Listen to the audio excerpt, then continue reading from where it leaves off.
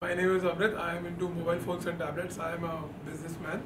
And today I attended this uh, workshop of Asentiv. This is my second workshop. And it's amazing every time I attend it. The best thing I learned today from this workshop is how to handle my team, my staff, my employees.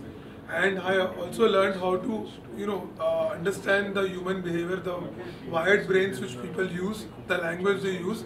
So it's an amazing platform, and I, I am blessed to have uh, trainers like Tejraj Singh and Bharat sir with us. And I would uh, love and would invite everyone, at least once, they should come and attend this workshop. Thank you.